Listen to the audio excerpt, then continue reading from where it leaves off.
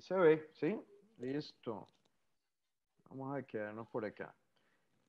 Bueno, eh, veo que en el chat hay muchos expertos, pero yo tengo que hacer esta charla, continuarla para el nivel, digamos, medio y en, formación.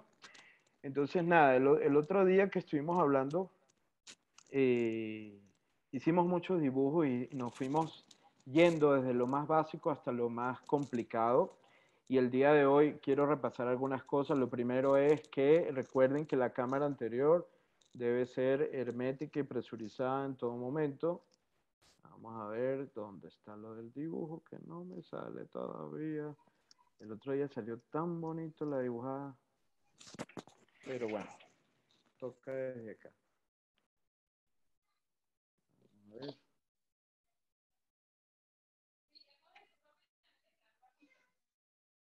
Pantalla, pantalla, pantalla, pizarra. Ahora sí. Muy bien.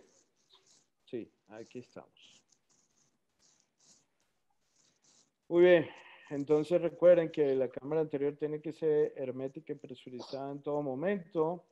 Y para esto la relación entre el cuchillete y el tamaño de la aguja del faco y de su manga de silicón tiene que ser el más óptimo. Entonces, una de las cosas importantes que el otro día no hablamos también a la hora de hacer una buena incisión es la cómo vamos a tomar la punta del faco y cómo vamos eh, a hacer los movimientos. Y, y, una de las cosas más importantes es este punto que les voy a dibujar aquí y que pocos le prestan atención, que es esta zona de acá, la muñeca. Y no sé si lo logran ver, pero eso sí, traté de dibujar una punta de faco acá, una pieza de mano, y la muñeca es supremamente importante, inclusive para hacer la, la incisión y para maniobrar dentro de, de, la cámara anterior. Y en esto, eh, ¿por qué radica su importancia? Es porque si nosotros la elevamos mucho, si nosotros estamos elevando mucho nuestra muñeca, entonces el lomo de la punta del faco va a ir empujando la córnea hacia adelante siempre. Entonces, si, si empieza a empujar la córnea hacia arriba, va a pasar varias cosas. Primero, que no nos vamos a dar cuenta cómo empieza a salir líquido por la parte, digamos, de nuestra incisión. Y no solamente que estamos empezando a descomprimir la cámara que debería estar hermética, sino que también empezamos a tener mucha fricción de la punta de faco contra la, incisión.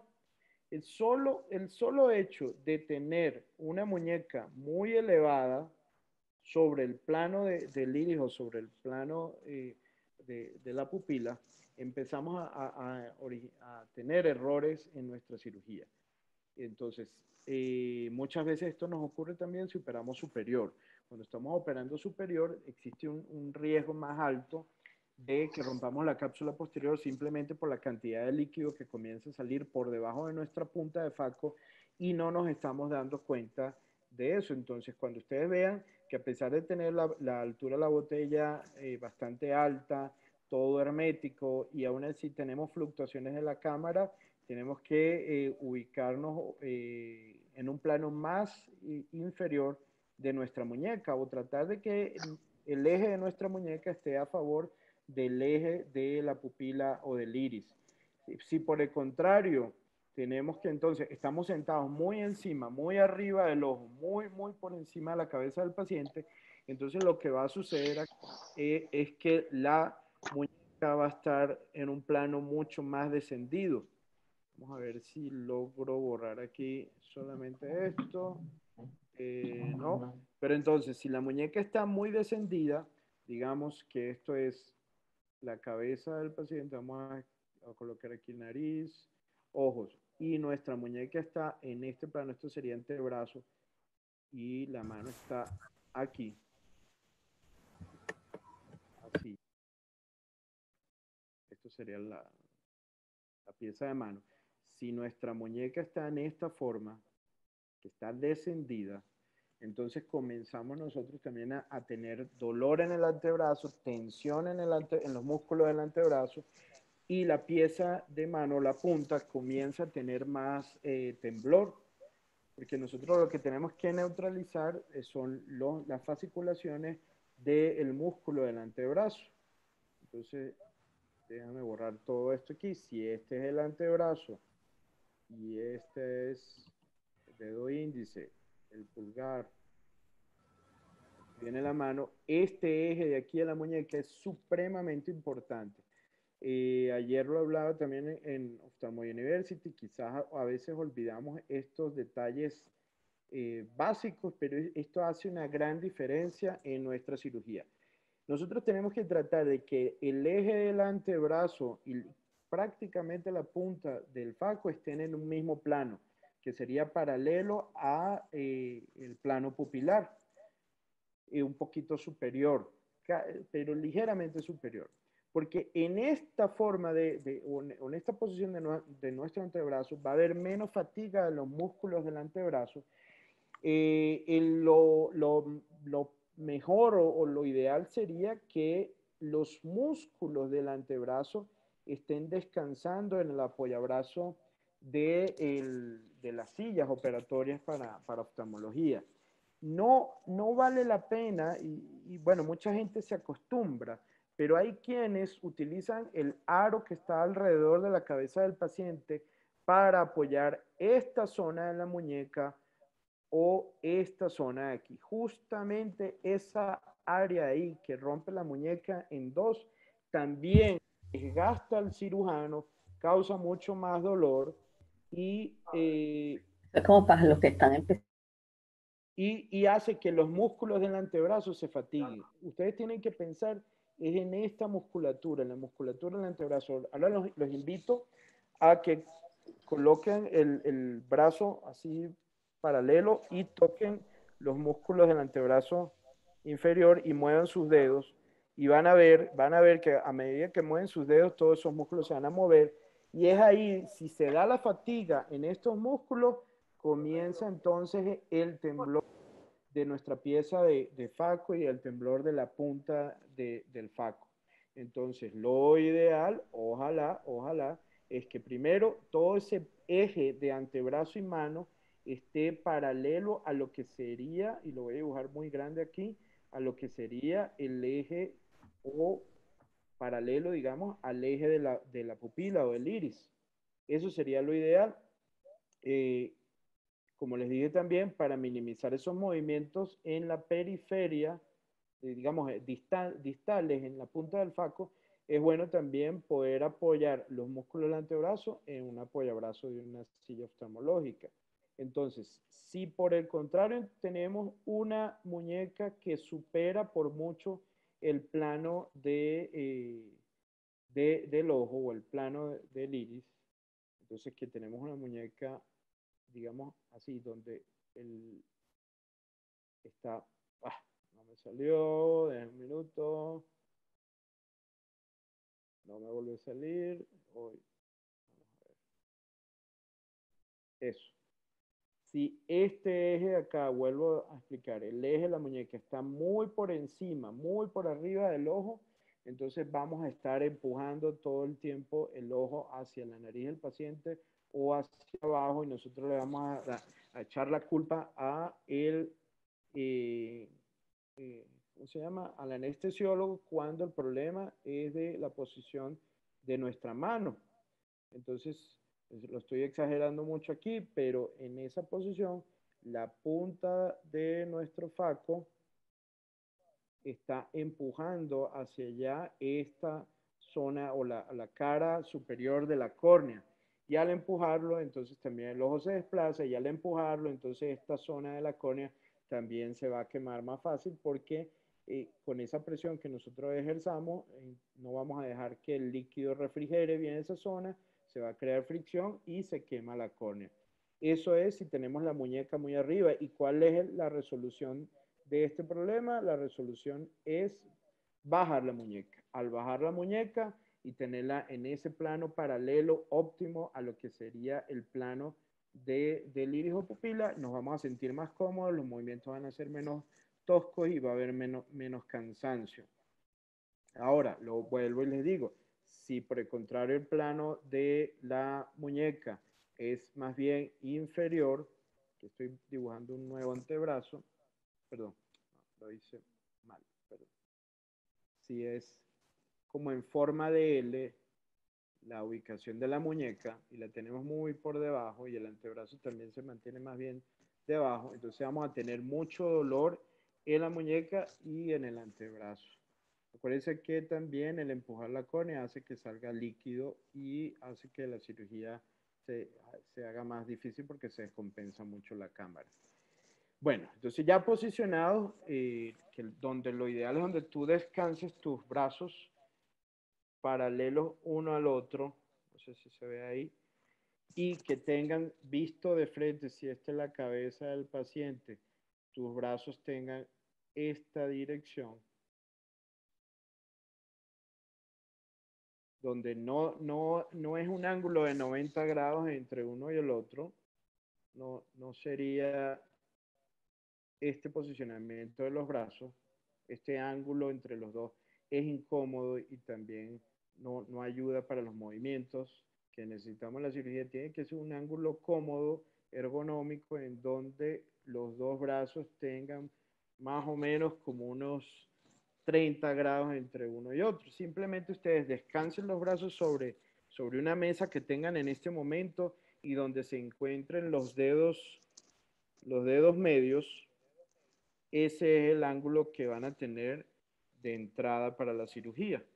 Y fíjense que ahí los codos, el brazo, los músculos del antebrazo se sienten bastante cómodos. Entonces, eh, a ver, continuamos. Entonces, ¿qué parámetros voy a comenzar, doctor? ¿Y qué parámetros voy a utilizar para una cirugía sencilla en una máquina, sea venturi o peristáltica? Ayer lo había hablado otra vez, que en lo posible tener 110 centímetros de, de, altura de la botella, que serían 100 10 centímetros de agua. Esto sería la presión intraocular si es que tenemos eh, por gravedad, por, si es gravity, eh, o si tenemos la, infusión por fuera de la máquina. Si es una máquina que, me, que maneja presión a presión, por redundar, tendríamos que tener más o menos 80 milímetros de mercurio. 80 eh, milímetros de mercurio, si ustedes lo pasan a centímetros de agua, eh, daría 109 centímetros de agua. Entonces, bueno, posicionar la botella en lo posible lo más alto. Y entonces dicen, no, pero Jaramillo, ¿por qué tú pones la botella tan alto? No es necesario poner la botella tan alto, ponerle tanta presión. Sí es necesario. Sí es necesario si estamos pensando en hacer cirugías que sean facodinámicamente efectivas. ¿Por qué? Porque al aumentar la presión nos mantiene la cámara bien presurizada, nos mantiene eh, la cápsula sin fluctuar hacia arriba y nos comienza a crear un flujo o un followability de, de las piezas de FACO y de las aspiraciones o de las cortezas hacia la punta. El doctor Luis Izquierdo me está escribiendo de que hay una, una pregunta hasta, hasta ahora. Haga la pregunta. Mira, por ahí yo te voy avisando, tú vas avanzando y te voy avisando las preguntas que se van pasando por el, por el chat, ¿sí? Preguntas, mira, una, este, primero, eh, ¿qué tipo de bomba te gusta usar más? ¿Sí? Y segundo, este, si utilizas bombas presurizadas o con bolsas presurizadas, llámese tipo el Centurión o, o, con equipos de, hechos para Venturi, tipo vitrectomía posterior, ¿qué es lo que te gusta utilizar más?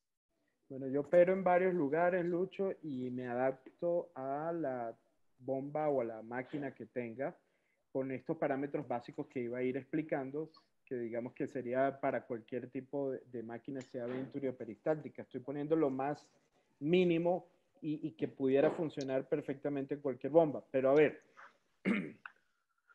si estoy apurado, que no lo debería decir, pero si estoy apurado, sería buenísimo trabajar en una bomba Venturi y si tengo una peristáltica, trato de emular los, eh, los parámetros de la peristáltica para que parezca una bomba, bomba Venturi.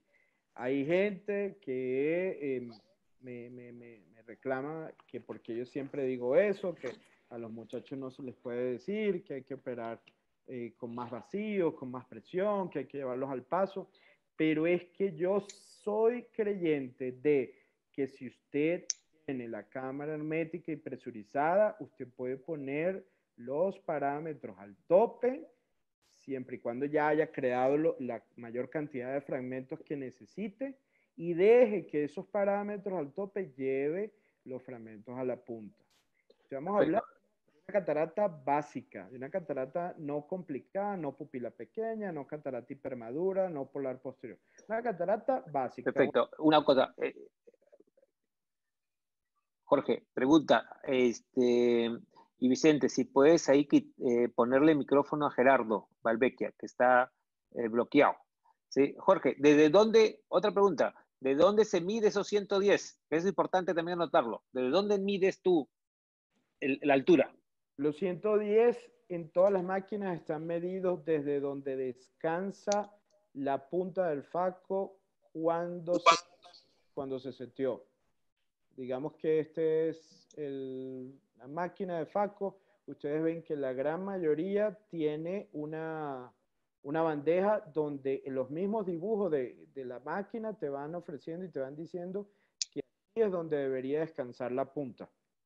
Entonces, desde ahí, la máquina toma los 110 centímetros para pensar entonces que la, la columna de agua que va bajando realmente lleva esa presión intraocular. Pero el punto cero debería ser donde se seteó la máquina. Por eso es que las instrumentadoras o uno mismo cuando setea la máquina tiene que dejar que la, pieza de mano descanse en la máquina cuando está haciendo los primeros testing, los, las primeras pruebas.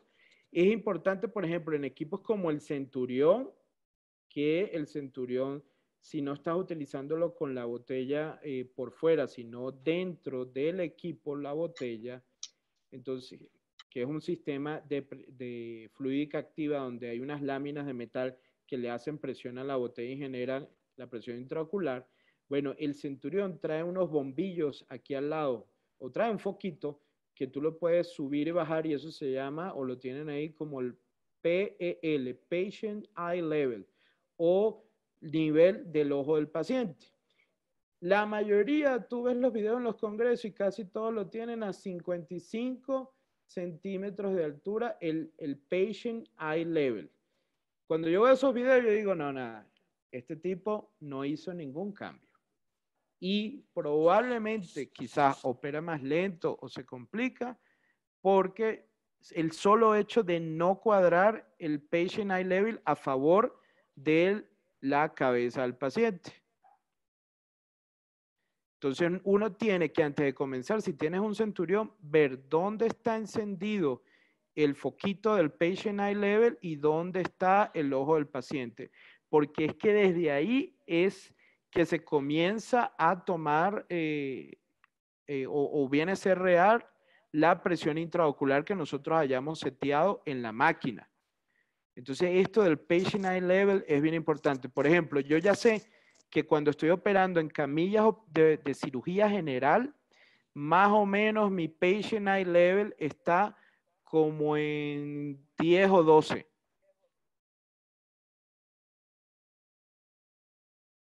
perdón, menos 10 o menos 12, porque es por debajo del punto cero que él tiene. Y cuando estoy operando en clofán o, en oftalmología de tesoro con camillas operatorias oftalmológicas, entonces el patient eye level lo tengo como en 16. ¿Qué quiere decir esto? Que las camillas operatorias oftalmológicas son mucho más bajas que las camillas operatorias eh, de cirugía general. Entonces, esto del patient eye level es supremamente importante.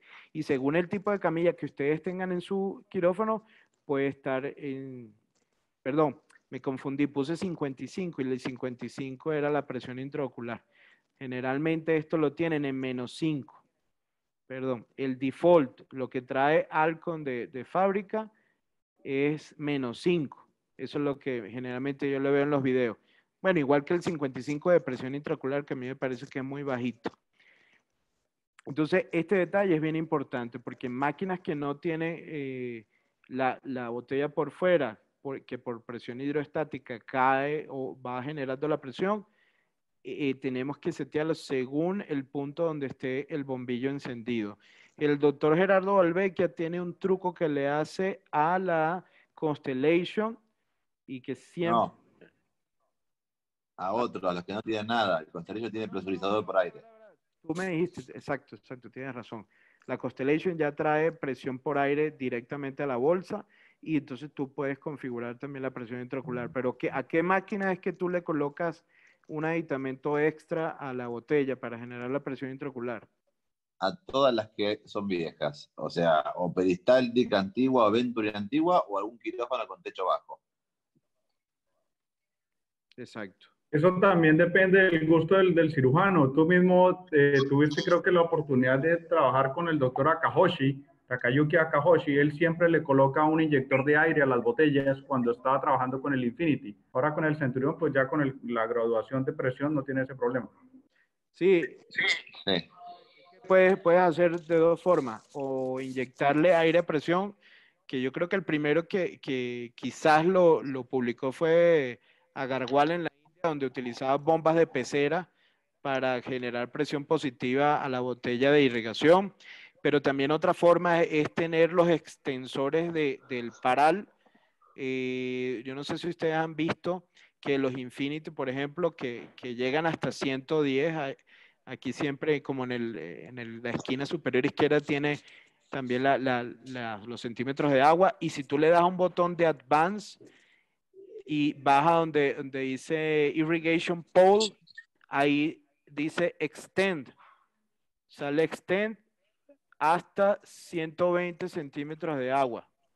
Pero tendrías que pedirle a los de arco que te pongan un, un paral, un pole más para generar esos, esos 10 centímetros más. Recuerde que por cada 15 centímetros que suba, eh, por cada 15 centímetros que esté elevada la bolsa o descendiendo, entonces cambian 10 milímetros de mercurio en la presión intraocular final. Ojo, les animo y no me, no, no me importa decirlo aquí públicamente porque yo sé que mucha gente me critica, no operen a 55 milímetros de, de mercurio de presión intraocular operar a, 55 milímetros de presión intraocular es operar muy lento y generar mayores cambios en el endotelio y mayores cambios también en el iris y en las zónulas, porque te vas a demorar mucho. Además, 55 milímetros de mercurio sería el equivalente como operar a 75 centímetros de agua. Imagínate, una, una altura supremamente botella, eh, supremamente bajita, perdón. Eh, si, si ustedes están operando con un Centurion donde la fluídica activa te mantiene la, cámara formada aunque tengas presiones bajas, es muy chévere, claro. La presión intraocular va a estar siempre en 55 milímetros de mercurio por la fluídica activa, pero la cirugía se hace mucho más lenta. E inclusive en glaucomas eh, terminales y para evitar el síndrome snuff out, o sea, glaucomas, eh, excavaciones punto nueve avanzadas y que tienes temor de operar con presiones intraoculares elevadas, vale más la pena y hay muchos estudios que lo corroboran. Es mucho mejor operar con presiones altas, pero cirugías cortas en tiempo y sin fluctuaciones de presión, que operar con presiones intraoculares bajas y cirugías entonces muy largas en tiempo y con muchas fluctuaciones de presión durante la cirugía. Eso es lo que haría que un glaucoma terminal hiciera, nos hiciera un síndrome de snuff out o de que se nos va la visión de este paciente con glaucoma. Eh, inclusive el síndrome de snuff out está eh, más correlacionado con cuando se colocan las válvulas, cuando se ponen, eh, cuando se hacen facotraves y la trave está eh, eh, liqueando mucho también. Entonces, por favor, en pacientes con glaucoma, operar con presiones intraoculares altas en periodos cortos de tiempo. Eh, ojo, en pacientes con glaucoma, traten entonces en lo posible de eh, fragmentar y fragmentar bajo viscoelástico, primero, antes de meter el faco dentro del ojo, y luego es que se animan entonces a, meter el, faco emulsificador y hacer la parte de, aspiración. Pero entonces, volviendo otra vez a lo que íbamos, 110 centímetros de agua, altura de botella al tope. Segundo, eh, ¿qué, ¿qué, modo de ultrasonido? No hablemos de oscila en este momento, hablemos de solo ultrasonido longitudinal. Ultrasonidos en modo, en lo posible, por favor, modo burst o modo hiperpulso o pulsados. Pero entonces, Aramillo, ¿por qué tú estás diciendo que el continuo no? Es que mire, por ejemplo, un Divine Conquer o, o, una técnica de surco, usted la puede hacer con continuo o con pulso o con hiperpulso o con burst. No pasa nada. Lo importante es que la punta del faco solamente esté ocluido en un tercio y que la otra, las otras dos mitades estén siempre aspirando líquido. ¿Por qué? Porque así es donde usted va a ir pelando cada lámina del cristalino y va a ser un, un, surco mucho más rápido y mucho más efectivo. Si te concentras en descansar la punta y no ocluirla del todo. ¿Por qué? Porque si, si lo llegas a ocluir del todo, entonces lo que vas a hacer es una trepanación del núcleo. Muchas veces ustedes han visto que les queda como un dedo formado en vez de un surco y es simplemente porque fueron a ocluir del todo la punta. Entonces ahí están haciendo un divine conquer malo, independientemente de que tengan ultrasonidos continuos o que tengan bursts o que tengan pulsos o hiperpulso. Entonces la idea aquí es que ustedes utilicen eh, eh, modos pulsados o hiperpulsos. ¿Por qué? Porque pocas veces nos ponemos a, investigar esto, pero la facomulsificación o la fragmentación de las fibras del cristalino, uno, se da por el efecto mecánico de, del ir y venir de la pieza o de la punta del faco. Sí, es verdad. Pero hay un efecto supremamente importante que es la cavitación y es la liberación de energía de esas burbujas que ah, con el movimiento rápido ultrasónico de la punta se crean, implosionan las burbujas, implosiona y entonces liberan energía y esa energía es la que también hace la disrupción del tejido de las fibras del cristalino. Pero entonces resulta ser que hay dos tipos de eh, cavitación. Hay una cavitación estable y una cavitación transitoria. La cavitación transitoria es la que mejor efecto tiene a la hora de emulsificar, la transitoria. Y la transitoria se da cada vez que hay periodos de encendido y apagado del faco. Cuando ya nosotros, por ejemplo, mantenemos el pedal en posición 3 en un ultrasonido continuo, entonces esta cavitación pasa a hacerse estable. Esa cavitación estable también puede liberar energía, pero realmente es muy poquito lo que libera de energía. ¿Por qué? Porque esto, estas burbujas de implosión no, o sea, se crean las burbujas, pero no implosionan. Entonces, la fragmentación o la emulsificación de la fibra del cristalino no se da tan efectiva como con la cavitación transitoria. Y acuérdense, la cavitación transitoria la vamos a ver solamente cuando hay periodos de encendido y apagado de nuestro modo de ultrasonido. Entonces, ¿eso en dónde los vamos a ver? Lo vamos a ver en modo burst, lo vamos a ver en modo pulso o en hiperpulso. El mejor de todos, el mejor, mejor de todos es el hiperpulso. Ese es el que mayor energía de, de cavitación transitoria vamos a tener. Entonces, el hiperpulso, no me deja dibujar en esa zona de la pantalla pero ese sería el, ideal, porque los periodos de off son muy, muy, muy, muy ultra cortos y muy eh, efectivos. Además, así también nosotros vamos entregando, digamos, energía de una manera más eh, fría al ojo. Entonces, por eso es que yo digo, señores, en unos dos años, las máquinas, cualquier máquina, hablando Centurion Infinity, Infinity Stellaris, la que sea, esas máquinas solamente van a manejar pulso o hiperpulso. Y lo que hoy conocemos como continuo, lo van a dejar solamente en el modo burst. ¿Por qué el modo burst es tan bueno también? Porque el modo burst en el primer paso de la posición 3, si nosotros tenemos nuestro pedal ya en posición 3, en el recorrido de esa posición 3, nosotros vamos a tener al inicio pulsos con periodo de off muy, muy largos y a medida que vamos descendiendo el pedal, entonces esos periodos de off se van a hacer más corticos, más corticos, más corticos y en el fondo de nuestro pedal en posición 3 se va a convertir en un modo continuo si es que tú te animas o te gusta trabajar en continuo. Entonces todo el tiempo el ultrasonido va a estar en on, no van a haber periodos de, de off. Entonces, a mí me gusta mucho el burst porque yo mismo con la posición del pedal puedo ir entregando la cantidad de, de espacios también o de periodos de on-off de eh, la energía ultrasónica que haya colocado.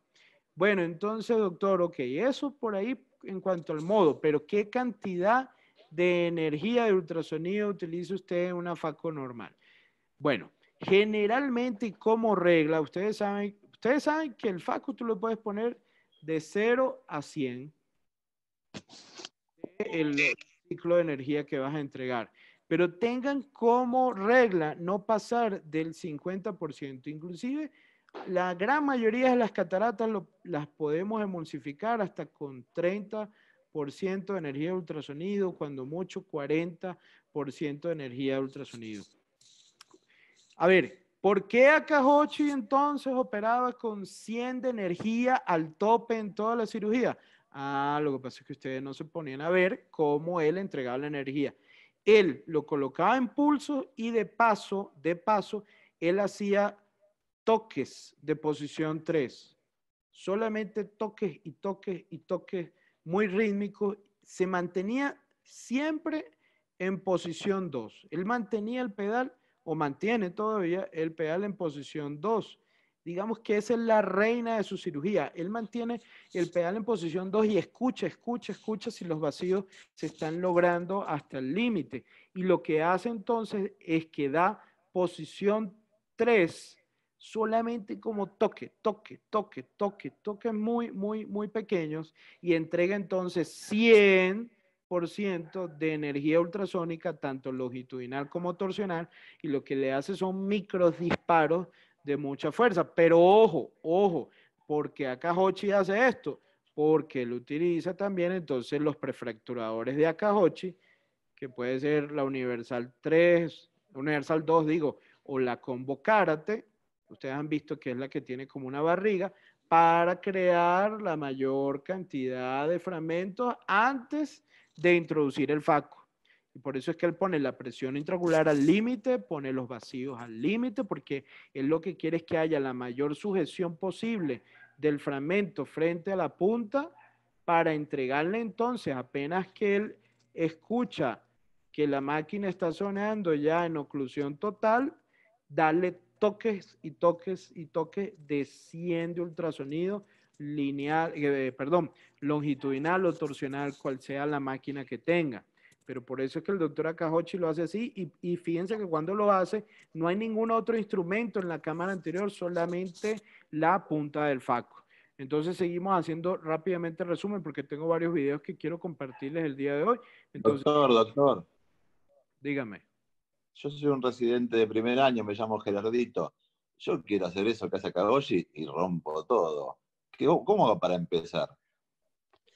Por eso me fui más adelante, pero aquí era lo que yo te iba a decir. Coloquen los ultrasonidos en modo burst. Ese mi, voy a hablar de lo que yo le recomiendo a mis residentes y a, y a los fellows. Modo, modo burst, no más de 50% de ultrasonido. Si es una máquina de ultrasonido longitudinal, traten en lo posible de entregarlo de manera lineal, que no sea, que no sea fijo, para que ustedes le vayan cogiendo, digamos, el, el feeling a la cantidad de energía que están entregando, no más del 50%.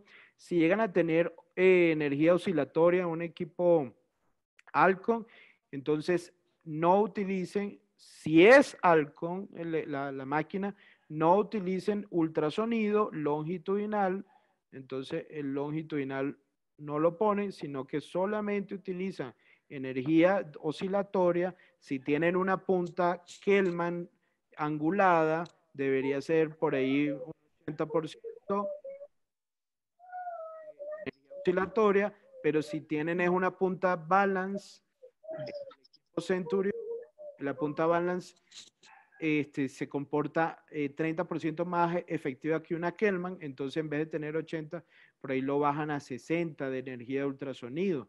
Acuérdense que esto es energía oscilatoria, no estamos hablando de oscil, eh, perdón, de, longitudinal. Y esto solamente si sus máquinas hacen ese tipo de entrega de energía. Ojo, si es nada más eh, energía longitudinal como una este, Stellaris, una Oerly o cualquier otra máquina, entonces utilicen 50 de poder lineal. Ahora, ¿en cuánto vamos a colocar el, vacío? Acuérdense, y yo lo dije ayer en Ophthalmo University, acuérdense de Juan Luis Guerra y su 440. 400 de vacío y 40 de tasa de irrigación aspiración. Ese es un vacío supremamente óptimo para comenzar. En máquinas peristálticas, fíjense que puse vacío y puse la tasa de irrigación aspiración por un lado. Esto es una máquina peristáltica, 400 de vacío y el 10% de tasa de irrigación aspiración. Yo digo el 10% como para que recuerden, pero realmente subir más puede hacer que los, eh, digamos, las maniobras y los fenómenos que van a ocurrir en la cámara anterior, entonces sean mucho más rápidos y eh, inadvertidamente chupen, eh, aspiren el iris o aspiren la cápsula. 40 es una velocidad, una 40 cc sobre minutos bastante óptima para eso. Si tienen una máquina eh, Venturi, perdón, que solamente maneja vacío, que no maneja tasa de irrigación aspiración, yo les diría que manejen 300 de vacío para ir sintiendo el feeling. Entonces, si es Venturi, si es una máquina Venturi, comiencen con 300 de vacío y ustedes van a ir viendo que en las primeras dos, tres cirugías dicen, oye, me fue bastante bien, no, no, no me demoré mucho en la cirugía, hubo buena sujeción, pero creo, y, van a ver que eso va a suceder, creo que pudiera aumentar un poquito más el vacío. Entonces ya de 300, tómelo como el punto eh, inicial pero luego van subiendo a 400, 450, que ya para alguien que se inicia una máquina Venturi, 450 es bastante óptimo. Quizás a veces puede sentirse un poco rápida la, la máquina. Doctor, doctor. Dígame. Discúlpeme al mismo residente que le llama de Argentina, pero eh, ¿400 de vacío para hacer un surco o esto cuando ya está todo partido? Ya voy para allá. Ese residente es un poco pesado, ¿ah? Estaba viendo. Es que salió de, de cirugía, Jorge. E, ese, ese, ese residente salió de oftalmosalud. Hay que cortarle la mano a, ese residente, Gerardo. A ver, claro, es obvio, si estás haciendo un Divine and Conquer, tú no puedes tener vacíos altos. ¿Y por qué no puedes tener vacíos tampoco tan altos si estás utilizando una máquina Venturi? Venturi estoy hablando, no estoy, no estoy hablando de peristáltica. Si es una Venturi, no tengas vacíos altos, porque entonces la Venturi, como el vacío se crea dentro del cassette y, siempre lo va a tener presente, de nada que tú estés ocluyendo un tercio de la punta, va a querer, y inclusive el núcleo va a tender a elevarse un poquito y va a querer ocluirse. Entonces, yo te diría, si te estás iniciando una máquina Venturi, para hacer un divide and conquer que no sea una técnica stop de, de, perdón, de quick chop o de chop horizontal, comienza con 200, 250. El problema está, el problema va a estar, ya, perdón, perdón, volviendo. Si manejas 200, 250, entonces vas a ir poniendo, eh, vas a tener un, un surco bastante estable en donde no va a haber tanta fuerza de sujeción del núcleo hacia la punta, no se te va a ocluir y vas a poder ir pelando las capas más externas del cristalino. Ahora bien, ahora bien, si nosotros ponemos, tenemos una máquina peristáltico. Doctor, doctor Jaramillo. Doctor ah, El otro alumno. Aquí tienes otro alumno, otro alumno. Yo soy un residente que además me llamo Juanito. Y soy de, de Colombia, de la misma ciudad que es el doctor Jaramillo. y trabajo con, con equipos Venturi hace mucho tiempo, me gustan mucho. Pero yo sí creo que es importante que hagas una diferencia entre fracturar el núcleo. Yo creo que el Gerardito de, de Argentina piensa como yo, que es importante unas, unas técnicas para fracturar y otras para comerse los pedazos de núcleo. Entonces, por ánimo de los residentes pequeños que están por allí, muy bueno que quede claridad sobre bueno, vamos a hacerlo. Y es que de hecho en la primera parte lo habíamos hablado, en la primera parte que no, no, no, fue el día de hoy, sino en la primera conferencia. Y hoy lo voy a volver a hablar. Lo que pasa es que no me han dejado terminar. Sáquenlo de cirugía, doctor. Es que es peor, es peor que, peor que mi mujer. ¿eh? Ok. Vamos a poner estos dos aquí. Chop y surco. ¿Cómo coloco los vacíos y qué debería yo tener para poder generar un buen surco? Y, luego, ¿qué debería hacer para tener una buena fuerza de sujeción en un chop? Entonces, en surco no quiero sujeción. No quiero, no quiero lo que llaman los gringos también el holding power. Entonces, trata de tener unos vacíos que sean por debajo de 300. Estamos hablando bomba Venturi Venturi. Ojalá que por ahí unos 250. Pero aquí lo más importante, y lo vuelvo a recalcar, es que no ocluyamos la totalidad de la punta. Descánsenla. Descánsenla sobre la superficie del cristalino. No vayan a empalar. ¿Por qué? Porque si ustedes empalan y, tienen también tasas de irrigación aspiración por ahí de 40, entonces van a hacer que el núcleo se vaya más rápido a ocluir más la punta. Vuelvo y repito, estamos hablando de máquinas solamente Venturi.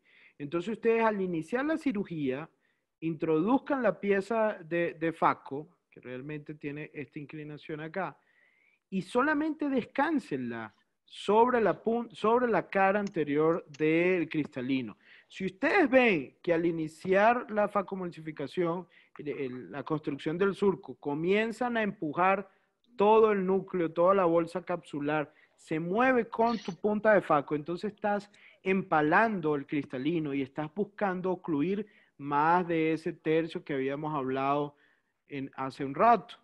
Entonces, tiene que tener vacíos por debajo de 300, buscar no empalar, sino descansar la punta del faco sobre la cara anterior del cristalino y van a ver cómo al accionar el faco, eh, haciendo un recorrido de ir y venir, entonces van a ir pelando las capas más superficiales del cristalino si van eh, a colocar, bueno, fíjense que aquí no tienen que poner una tasa de irrigación aspiración ni nada, porque como es Venturi, la irrigación aspiración viene dada, viene dada directamente por el vacío que haya seteado.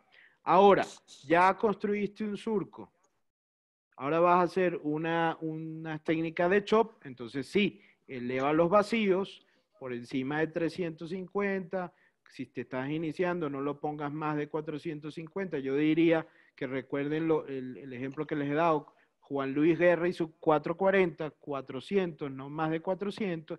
Y ahí sí dirijan entonces la punta del faco a empalar la superficie de cristalino. Inclusive traten en lo posible de comenzar en un punto intermedio entre lo que sería el borde de la rexis y el centro anatómico del cristalino. Entonces, el lugar de empalamiento debería ser esa distancia eh, media entre el borde, el borde proximal de la rexi y el punto medio anatómico del cristalino. Y ahí sí suben ustedes su muñeca, la suben un poquito para que la punta de faco se verticalice y entonces comiencen a ocluir y a empalar. Tienen que tener vacíos altos y fijos para que se cree bastante rápido esta fuerza de sujeción. Acuérdense que luego de que escuchan la bomba que está bastante ocluida, le dan toques, unos dos o tres toques de ultrasonido, solamente toques de posición 3, para que la bomba, para que la punta penetre un poco más, escuchan la bomba, que buena sujeción, que la otra vez me pidieron que hiciera el sonido, y es como, ustedes escuchan la bomba cuando, cuando inician, wow, wow, y cuando comienza a, a ocluirse, ah, clink, clink, clink, clink, clink, clink, y ahí cuando le dan toque, un toque, dos toques de ultrasonido para que se incruste más o haga el holding power. Y ahí tu mano del FACO pasa a ser una mano pasiva, no se mueve y en lo posible la mano activa va a ser la mano del chop, que si eres diestro debería ser la mano izquierda. El, el residente Ortega y el residente Valvecchia quedaron conformes o pudieran agregar algo extra en todo esto también. No, muchísimas gracias, profesor. Muchísimas gracias. Yo, eh, a mí me enseñan con Stop and Chop, no me enseñan con la caolla. Acá en Argentina la caolla no lo quiere nadie, la pinza de prechopeo. Yo, yo soy igualito al, al, argentino, estoy de acuerdo. Es que estos residentes, Lucho, ¿cuánto tiempo llevan estudiando? Deben tener por ahí 15 o 20 años estudiando ya. Mira, los, hemos tratado de sacar, los hemos tratado de sacar y hasta ahora no los podemos vender. No los podemos vender en la vitrina. No, tenemos plata para comprar la pinza de prechopeo. Bueno, no, les pago lo suficiente. Prechopeo. Debes tener un mantenedor de núcleo, debes tener un chop, una gajara, que cuando vayas a hacer técnicas de chop lo puedes utilizar muy bien. Yo en ningún momento estaba hablando de pre-chop. ¿Ok? Oye, Jorge, pregunta. Mira, preguntas de la gente. En sí, en tres términos. ¿Qué parámetro usas para peristáltica? peristáltica. Pero te voy a pedir algo difícil. En tres términos. Ta, ta, ta. Sáltalo. 110, peristáltica. 110 de altura de la botella. Oscilatorio, porque utilizo máquinas Alcon en 100 en modo burst y lineal. Si estoy haciendo Divide Cocker, me dijiste, o Quicho, perdón. Lo, lo, que quieras. Si quieres un stop and shop que se, que se hace, que, la mayoría de gente, por ejemplo, no sé, acá lo hace también. No, lo modifico. O sea, lo único que cambio cuando paso de hacer un surco a, a, un, a un cuadrante o a hacer chop es que coloco el ultrasonido, lo coloco fijo. 110 de, altura. vamos a colocarlo aquí. Vamos a poner los, tres parámetros que me pediste. 110 de altura. Listo. 100 de ultrasonido oscilatorio fijo si voy a cuadrante o si voy a hacer eh, holding power para hacer un chop. Lineal si fuese con lineal si es divide con. No, no uses internet, porfa. Y fijo si sería eh, un chop. Y lo tercero sería, yo, yo trabajo con 450 en un Infinity, por ejemplo, de milímetros de mercurio de vacío con 40 de tasa de irrigación y aspiración. Así trabajo yo un Infinity, digamos, en una catarata color 3, opacidad de 3, dureza de 3, digamos. Ya, vamos, alumno Gerardo, alumno Juancito, ¿qué, ¿qué parámetros más o menos así para que terminemos en el punto justo del peristáltico que estaban preguntando bastante? ¿Qué parámetros dicen, Gerardo? Tú un stop chop, yo, yo a todos los chicos que les enseño, les enseño con stop and chop. Yo divide and conquer, la cruz no la hago nunca, no les enseño nunca porque en manos no hábiles la pieza de mano pesa, pesa como 10 kilos. Entonces, todos los medios que aprenden conmigo aprenden con stop and chop. Yo los parámetros que uso para el, el surco primero es todo al revés de Jorge, pero por eso está bueno para los chicos que escuchan diferentes campanas, porque de todo se aprende. Yo uso faco continuo, pero un faco continuo bajito, un faco de 50 de power, longitudinal, porque el torsional a veces me lo mueve un poquito más, para hacer un surco estamos hablando, ¿eh? en manos no entrenadas. Le pongo muy poco vacío, muy poco vacío, 100, lo suficiente para que se chupe el pedacito de surco que voy comiendo. Y lo que dice Jorge, no tapar la, la punta, es fundamental. Entonces, para hacer un surco, hago eso. Y después sí, cuando, cuando ya lo tengo partido en dos, me voy con todo el power que puedo. Le pongo burst, le pongo eh, o sí, le pongo todo, todo lo que tenga y le subo el vacío a lo que me dé la máquina eh, en ese momento. Eso para un peristáltico. Perfecto. Juan, o al- algún comentario más de alguien. Vamos. La idea es estar comentando ahí rápidamente y vamos saltando. Que está, que, que está bueno, sí, está muy didáctico. Mire, yo, a ver, yo, eh, yo le mando lo que más o menos enseñamos aquí. Igual lo- la base, eh, eh, igual stop and shop, ¿sí? Eh, no utilizamos lo de Akahoshi. eh, y tratamos de hacer muy estandarizados el paso stop y luego el paso del chop. ¿no? Igual ahí coincidimos, ¿sí? el vacío no alto en el momento de hacer ya el group, el túnel, ¿estamos? El poder lo avanzamos más o menos promedio 50, ¿sí? Y luego, cuando ya cambias a los pedazos, sí subimos el poder. Sea, el poder normalmente no, mantenemos hasta 60, 70 máximo lineal, no, nunca llegamos a 100. Y el vacío sí lo subimos también, en realidad 400 puede ser. En general, la, eh, creo que el detalle, permitir todos, es que este, tienen que ir viendo los parámetros. Mi idea siempre es de que una cosa le puede entrar por el oído para ustedes, pero lo que ustedes tienen que tener es la base.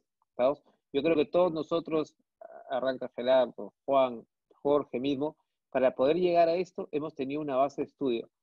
Libros, por ejemplo, recomendados, facodinámicos, ¿sí? el de Siebel, por ejemplo, básicos. O sea, léanse un buen libro, arranquen a partir de ahí y van. Lo peor que pueden hacer ustedes en una sala de operaciones es ir, doctor, ¿y qué, parámetro le pongo? Ponga el parámetro de doctor Valvecchia. No, eso no va. ¿Se dan cuenta? ¿Estamos? O sea, cada uno tiene que ser su propio raciocinio. Avancemos. Bueno, mira, un gráfico aquí rápido para la mente de todos los cirujanos. Mira, y, y yo siempre lo enseño así. Si vas a pensar en surco, todo tiene que ser lineal. Si vas a pensar en chop, todo tiene que ser fijo. Tanto el ultrasonido como el vacío. Es una regla básica y rápida. Ya luego tú vas moviendo los, los parámetros. ¿Por qué? Porque si vas a hacer un, un surco, bueno, coloca 50, como dijimos, de energía de ultrasonido lineal y así tú eh, ir de, de tu posición 3 de tu pedal va a ir entregando la energía necesaria de ultrasonido que tú quieras para el surco. Ahora, si vas al, al vacío, también tú no necesitas sujeción, no necesitas agarre, coloca entonces el vacío lineal. Eso ya te va a empe- empezar a ayudar. Ahora, en un chop no puedes trabajar así. En, en- en un chop, ojalá que tengas todo fijo, inclusive el ultrasonido. Aunque puede haber algo de repulsión, como lo dijo Gerardo, si tú tienes el vacío fijo y tienes presiones intraoculares elevadas, el fragmento se va a tender a, pegarse a la punta del faco y es difícil que se vaya separando a menos que tengas 100 de energía de ultrasonido y ahí sí hace un rebote eh, bastante evidente de la punta. Ahora, eh, Gerardo también habló de utilizar energía de ultrasonido eh, continua.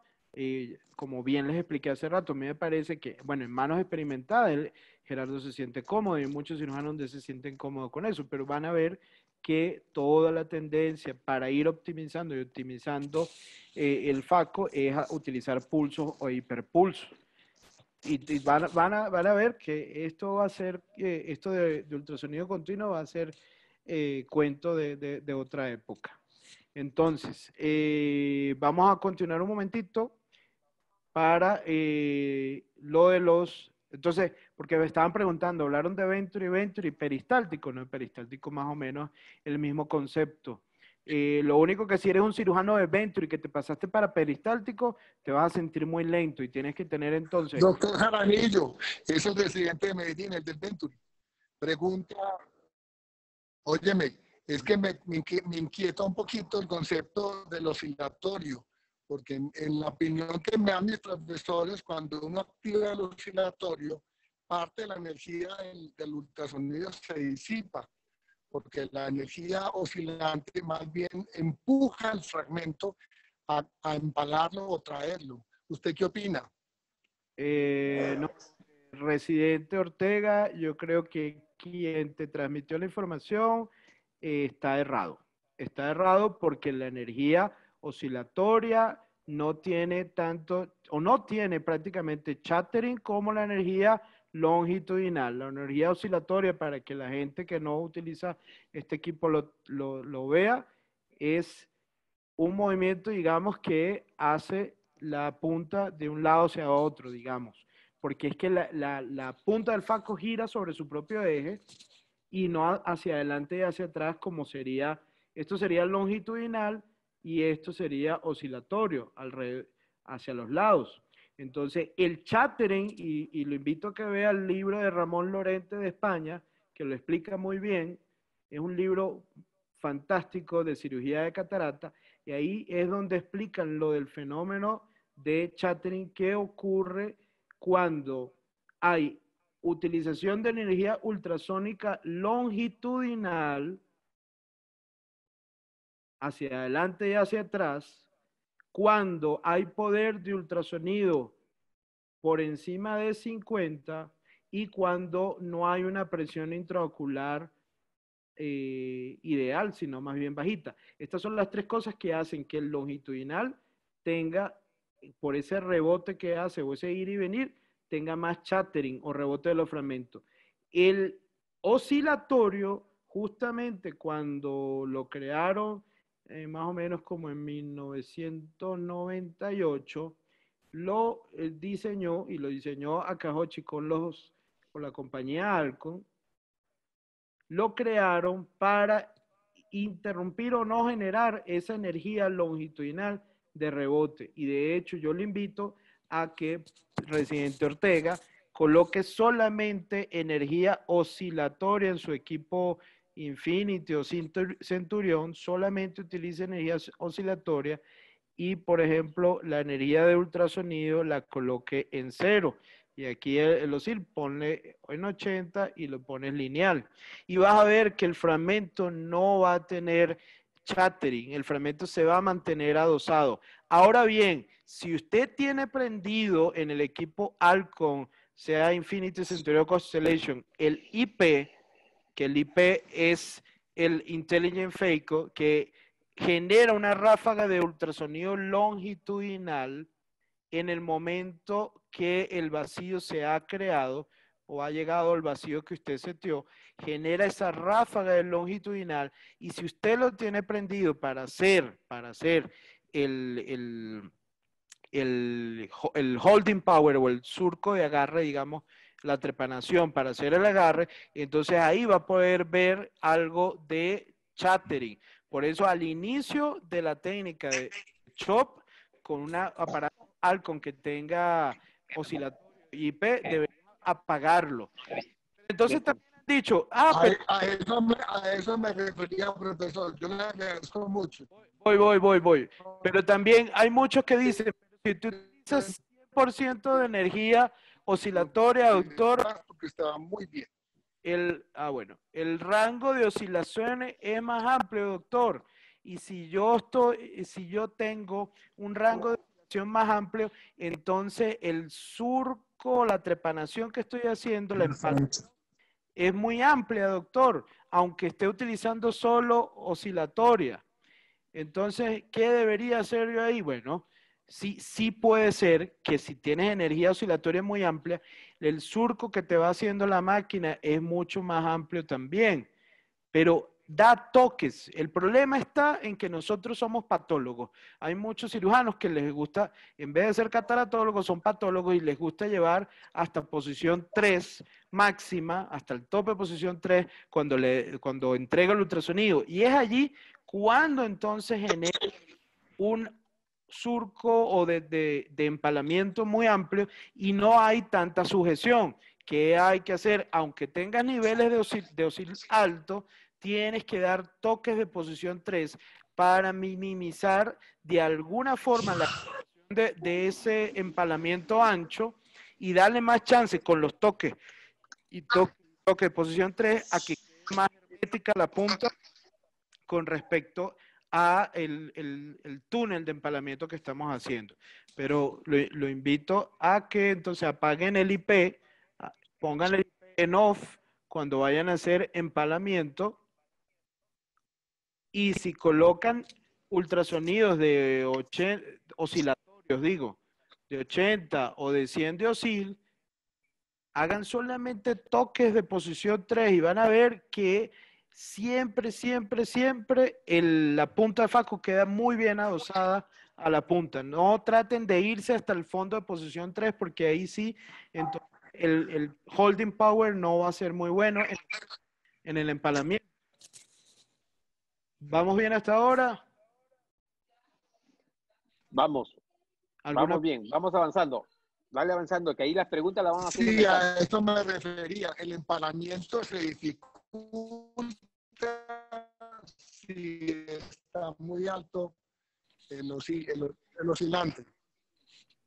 Sí, si tienes muy alto el oscil, se dificulta siempre que tú lleves el pedal hasta el fondo de posición 3. Si te vas hasta el final de posición 3, los surcos van a ser bastante amplios.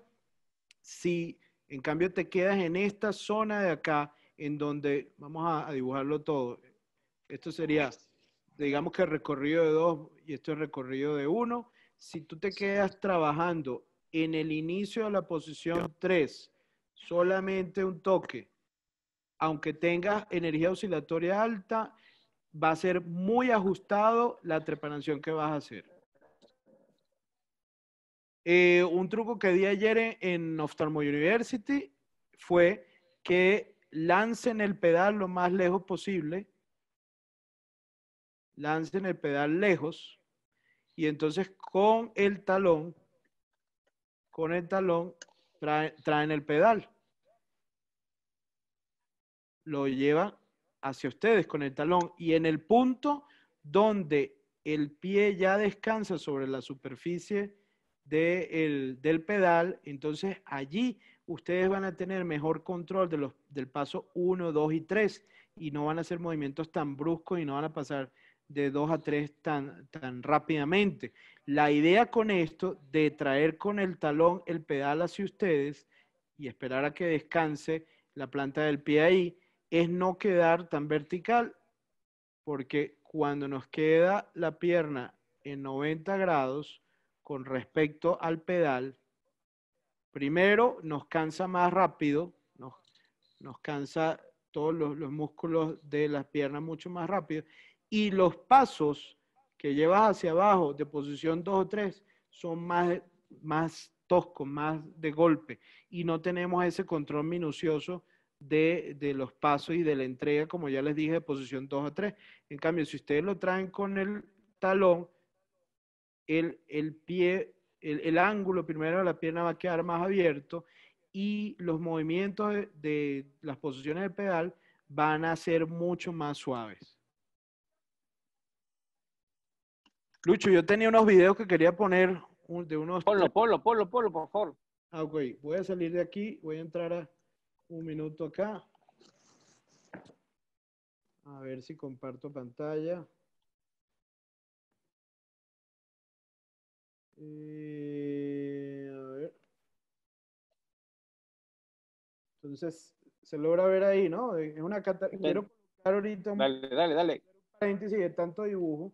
Hay unas cataratas blancas y cataratas duras. ¿Se escucha la música o mejor se la bajo? Entonces, las cataratas blancas no se pueden manejar igual que las cataratas hipermaduras. Fíjense, eh, en la primera conferencia que dimos, yo les había explicado que eh, hay quienes utilizan la, eh, la burbuja de aire para colocar el azul tripán. Yo particularmente no, no lo coloco porque prefiero que todo la, la superficie de la catarata esté bien teñida con el azul y trato en lo posible de lavarlo con solución y no con viscoelástico por- porque de, del iris y puede ir haciendo que, que las zónulas y la periferia de la bolsa capsular sea mucho más tensa. Entonces siempre intento trabajar estas cataratas blancas eh, eh, con viscoelásticos dispersivos. Y eh, si bien ahora estoy haciendo la blanco, blanco puntura, que nuestro amigo Ariel Blanco de Argentina no- nos las ha enseñado, que es donde, donde se punza digamos, directamente con, con una aguja eh, en la cara anterior de la catarata y se deja que el líquido lechoso se nivele con la presión de la cámara anterior y luego se inician los pasos de la FACO. Ahorita eh, lo estoy haciendo y de verdad que me ha ido súper chévere. Generalmente yo lo que hacía era que colocaba viscoelástico dispersivo, entraba con la utrata y hacía un toque muy pequeño, una punción muy pequeña de la, de la cápsula anterior y dejaba abierta las dos hojas de, de la, de la utrata. Y entonces se creaba como esta zona de acá y esta zona de acá estaba llena de viscoelástico dispersivo, se creaba un túnel virtual, digamos, entre las dos hojas de la utrata. Y por ahí entonces, fíjense como en el video se logra ver, por ahí va saliendo el líquido. Eh, esa era la. Jorge, Dígame, señor. lo tenés a Ariel ¿eh? en el auditorio. Ajá. ¿Qué hubo? Ariel, si quieres, explícate ahorita cómo es la técnica tuya de la blancopuntura. Lo que pasa es que le tienen que habilitar el micrófono. Es Ariel X iPhone. Vicente, a él, porfa, si le puedes, a- ahí, tú estás justamente, Ya Eh, lo, lo puede abrir él solo. Ya lo puede abrir. Ahora estoy. Sí, listo. ¿Cómo No están? mandes, ma- no mandes material raro como ayer, que yo sé que tú fuiste, pero bueno. Voy a, voy a tratar que no. Bueno, es un poco, básicamente lo que acabas de explicar, ¿no? Una punción, sustancia, no es el azul tripán, nada. Lo primero que hay que hacer es punzar con una aguja fina, preferentemente 30G, pero puede ser 27, con una aguja puesta en la jeringa, o sea, que sea todo un- un- una, una cosa cerrada, todo a, cámara cerrada. Se punza y se punza el centro de la catarata y se ve salir el líquido en ese momento. Y se puede incluso deprimir el núcleo para que salga el líquido que está retronuclear. Una vez que pasan unos segundos y que el líquido ya salió, se, com- se compensaron las presiones de las cámaras, como acabas de decir perfectamente. Ahí se sale con la aguja y se inicia la cirugía convencionalmente, como hacemos de rutina, poniendo, haciendo las incisiones, poniendo azul tripán, viscoelástico, todos los pasos que uno quiera hacer. Pero lo primero que hay que hacer es la punción esa, que emula al jack láser. El que tiene jack láser puede hacer un jack láser, una capsulotomía con jack láser. Y el que no, hacer esto. Pero no dejen de hacerlo. Es una pavada y les va a salvar tener una bandera argentina. Muy bien, Ariel. Exacto. Gracias.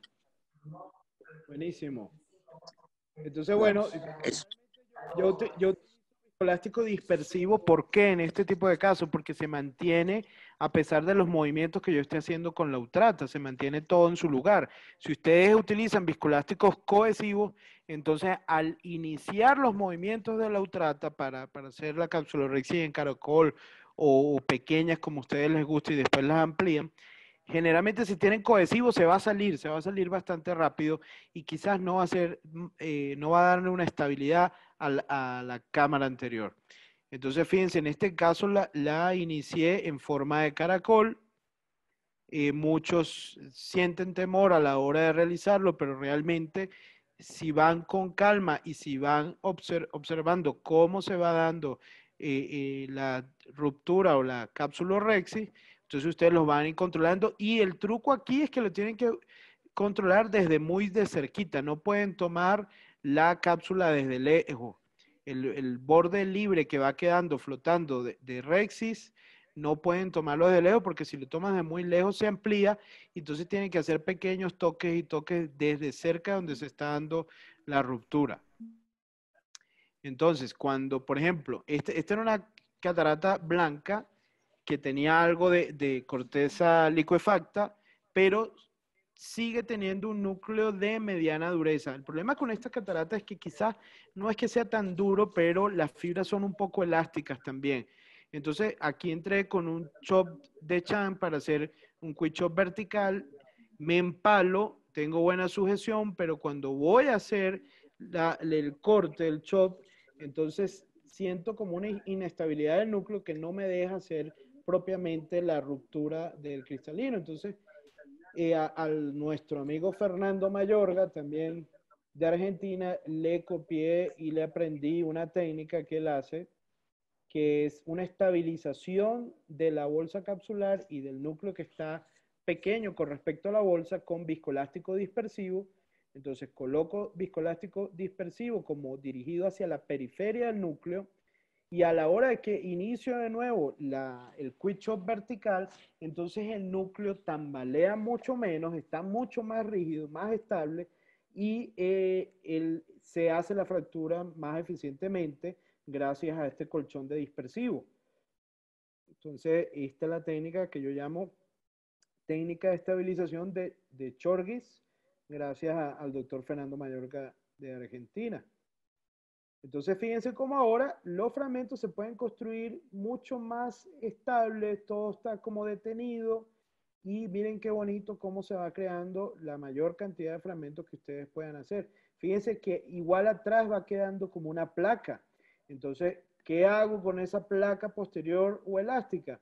No, simplemente coloco viscoelástico en el medio de, de esa zona que estoy trabajando para crear aún mayor estabilización y en este caso pueden entrar con dos instrumentos, dos chop o dos manipuladores de núcleo o con dos manipuladores de lente.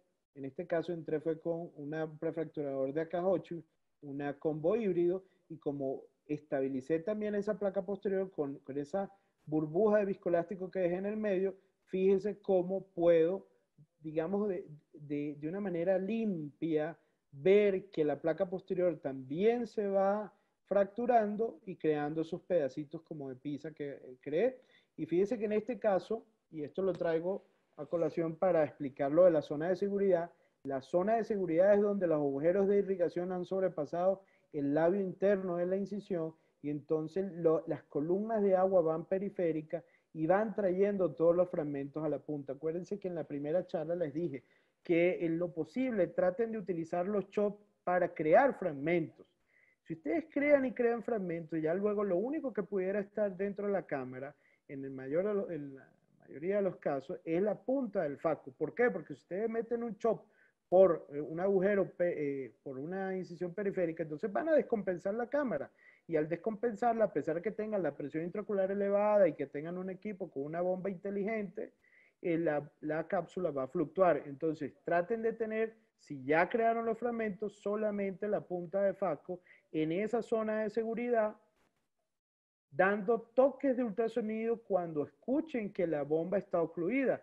No den toques de ultrasonido al aire sin que no tengan un fragmento al frente, porque entonces van a ir gastando el ultrasonido, pueden generar más quemaduras de la córnea, de la incisión o inclusive barrido del de, viscoelástico y daño en las células endoteliales. Fíjense que aquí estoy culminando ya el último fragmento, como no es tan duro, duro, duro, el, fragmento, no se genera tanto surge y estoy tranquilo que la bolsa capsular está en su lugar.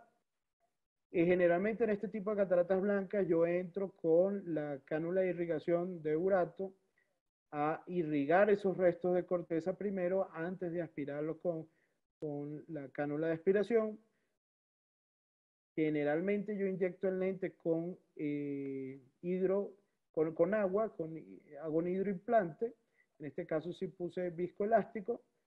Y me, me gusta mucho eh, también los lentes hidrofílicos cuando estoy haciendo campañas de catarata o, o cirugías de, de, alto volumen porque son lentes muy amigables, son lentes que entran bastante rápido a la bolsa, son lentes que se pueden manejar bastante bien.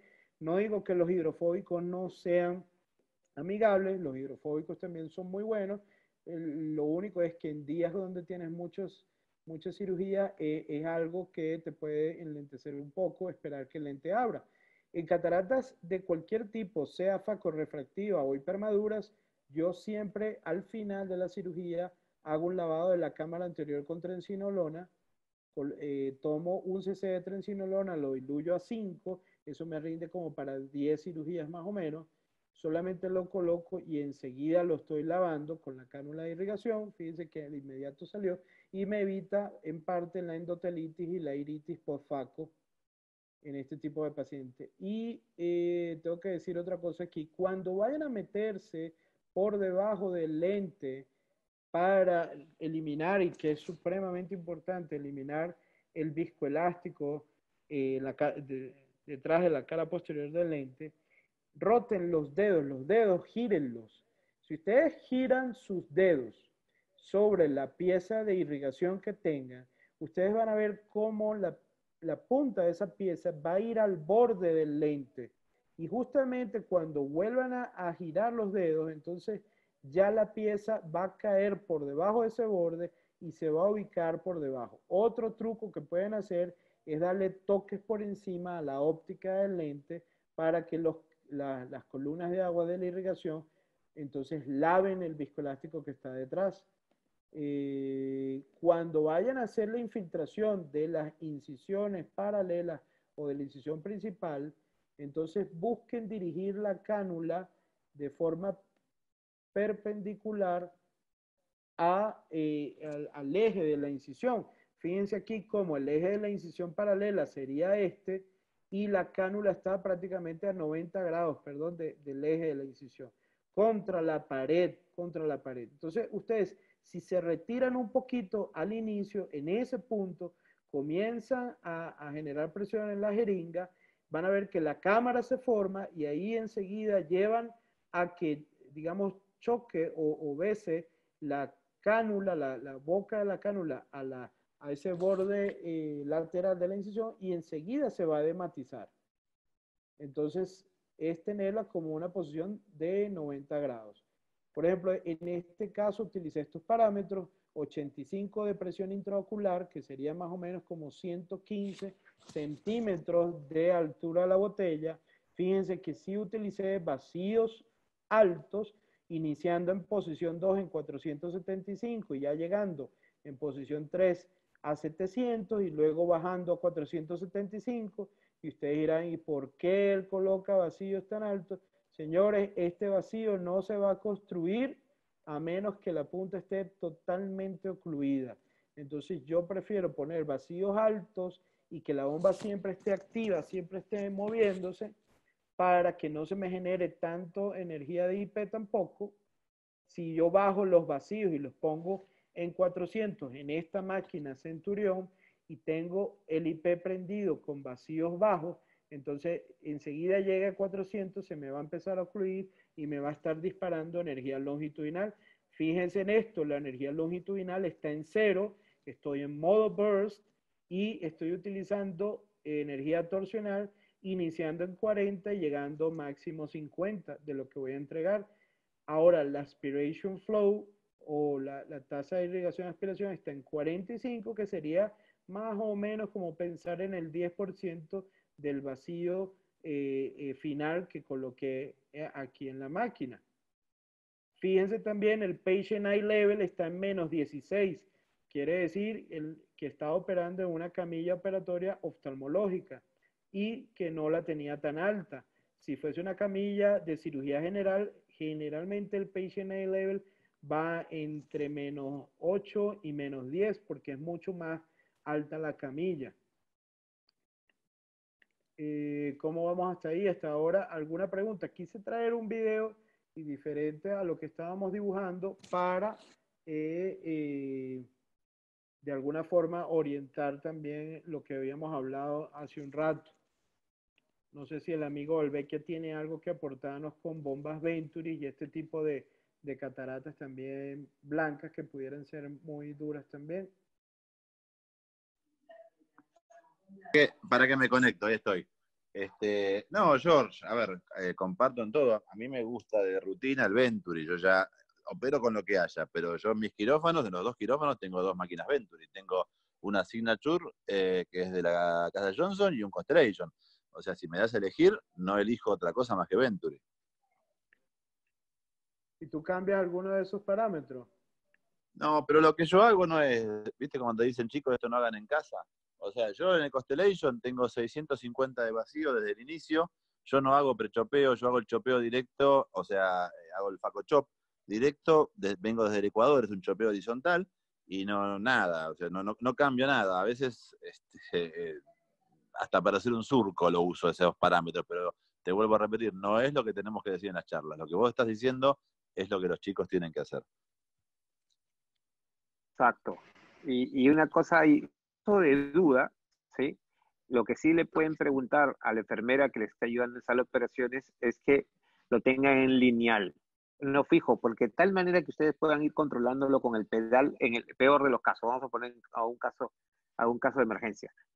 Este, en cataratas blancas, vean bien lo de puntura lo de Ariel, realmente este, entiendan lo que es, no es que voy a hacer primero las incisiones y después pongo la aguja, no, la aguja primero, ¿sí? Como bien él lo mencionó, pero este, realmente, eh, eh, eh, em, ¿cómo se llama? Es un arma fácil de hacer, muy, muy, muy, muy, muy fácil en realidad, algo que les puede ayudar bastante. Bueno, en cuanto el, el mm, profilaxia, están, ahí está viendo Gerardo utiliza moxifloxacina, varios utilizan moxifloxacina, nosotros utilizamos cefuroxina de acuerdo a lo de la profilaxia del Esker, ¿sí? de hace muchos años, pero quizás el mensaje es que eh, ya en esta época yo creo que el consenso es, en todos utilizan antibióticos intracamerales, ya sea moxifloxacina, en este caso, o, o y este utilicen. Yo creo que, es básico, ¿no? ¿Alguna cosita más? Eh, eh aló, ¿sí? ¿Me escuchan? Sí, sí. Ahora, entonces mira, eh, Lucho, voy a colocar este, este video final, ya para terminar lo, lo que es All You Need is Chop, pero sabes que yo no utilizo eh, la moxifloxacina intracameral. Eh, yo sí preparo al paciente eh, unos cinco días antes con antibiótico. me fijo que el lavado de las pestañas, si, si bien con algo de paritis, le hago mucho énfasis y, antes para, para, que ya no tenga la, blefaritis, me cercioro que la yopovidona se haya dejado en fondo de saco, al menos unos 2-3 minutos, hasta 5 minutos, pero que al menos cuando en el momento que pasan al paciente enseguida que ya le colocaron la anestesia tópica, le coloquen la yopovidona en fondo de saco y no coloco la eh, moxifloxacina en cámara anterior principalmente porque le, yo le dejo, el paciente le dejo solo una cascarita para que se la levante y enseguida que llegue a la casa comience a colocarse el antibiótico. Yo le coloco una gota mientras está en, en la clínica, más o menos cada dos horas, si se demora más de dos horas en estar ahí en la clínica, pero le digo que cuando llegue a su casa comience cada dos horas el primer día y cada cuatro horas el segundo día de moxifloxacina y dexametasona. De acuerdo, profesor Jaramillo. Yo pienso igual. ahí yo, se las discuto un rato si quieren, porque yo soy discípulo de Pellegrino, pero bueno, si quieren para otro día, si no. Bueno, pero la verdad es que eh, bajo ese protocolo eh, nos ha ido bastante bien. De hecho, eh, yo creo que es el, diría el 90% de los que operamos en Clofán lo manejamos así y mira que somos bastante y nos ha ido muy, muy bien. Pero ¿cuál sería el raciocinio? ¿Cuál sería el raciocinio? Yo ahí quizás pienso que prefiero que el paciente comience el medicamento desde el mismo día para lograr mínima inhibitoria eh, en el humor acuoso desde las primeras dos o tres horas. ¿Por qué? Porque es que si yo dejo la moxifloxacina en cámara anterior, una vez que eh, los procesos ciliares se activan nuevamente en crear ese flujo de humor acuoso, eso también va a salir de ahí. Si, si, confío... No, no, yo te entiendo, pero, pero ¿por qué no... No, pero ¿por qué no hacer las dos? Nosotros colocamos siempre intracameral y damos la instrucción que den cada hora, pero alguna vez el paciente sale medio dormido o te, que te queda dormido por tres horas, te das cuenta y lo dejas, lo dejas sin nada adentro. Yo no lo hago. Porque es, es, un agregante más a que si yo después tengo un TAS, bueno, ¿a quién le voy a echar la culpa? Tengo más gente a que echarle la culpa. Mira, Jorge, yo te digo mi experiencia. ¿Yo sabes para qué se los pongo? Justamente se los pongo porque no se van a poner gotas hasta que lleguen a la casa. O sea, la moxifloxacina en cámara anterior, en cámara anterior no les dura más que 30 minutos con toda la furia. La SIM 90 que vos tenés poniendo la moxifloxacina adentro te mata cualquier pequeño bicho que pueda haber entrado durante el acto quirúrgico o en el postquirúrgico inmediato. Después sigue, sigue en la casa. Pero en realidad no sirve para otra cosa más que para esos 30, 40 minutos hasta que llegue a su hogar. Yo había, eh, recién lo puse en el chat, hace millones de años hicimos un trabajo con 6.000 casos, 3.000 con, 3.000 sin.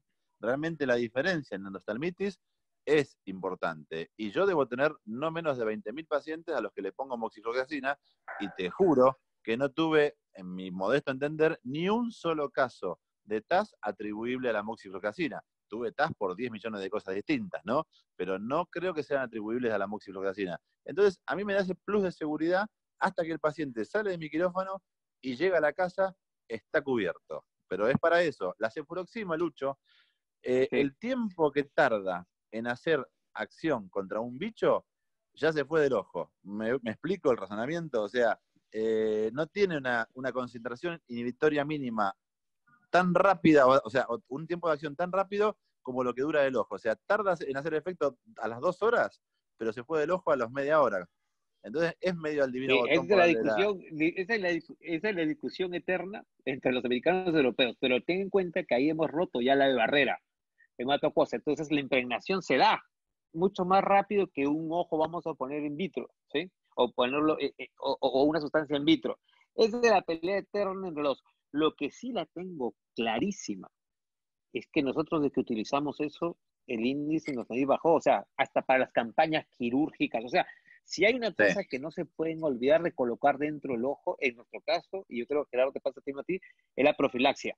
Ahora, yo le quería eh, que me haga entender también, Jorge, una pregunta. ¿Tú le das profilácticamente oral, Jorge, no, es de mí, o gotas profilácticamente días antes?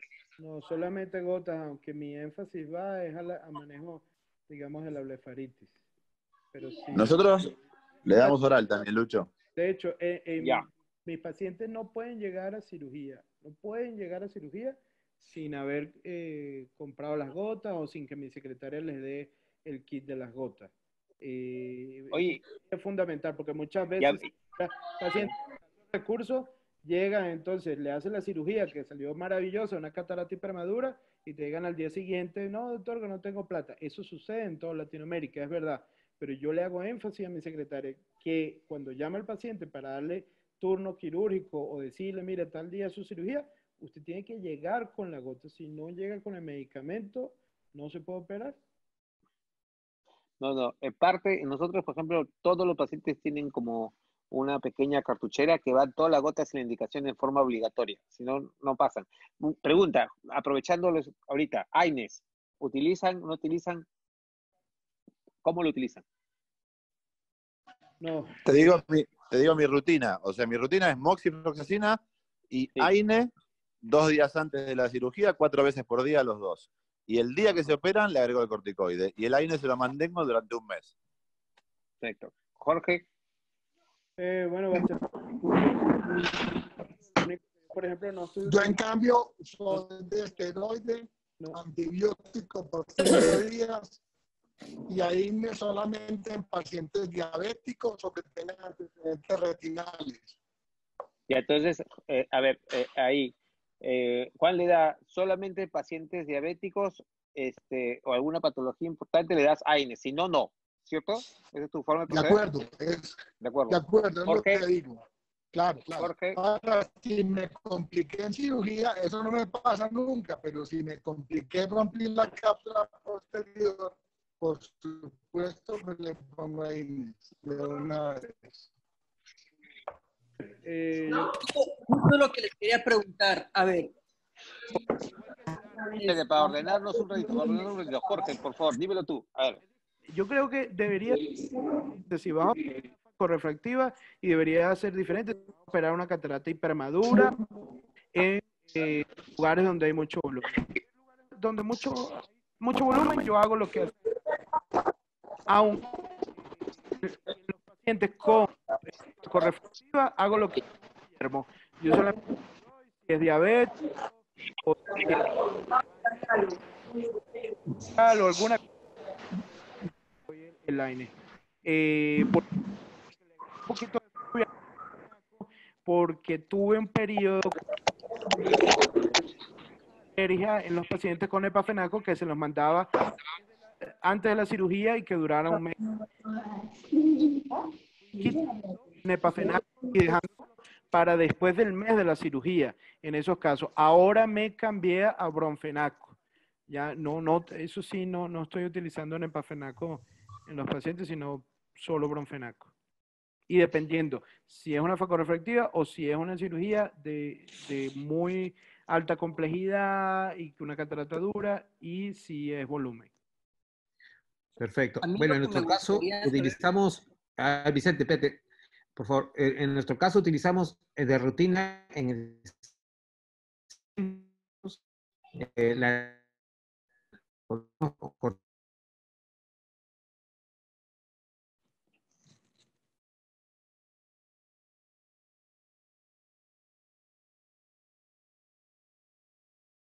¿Aló?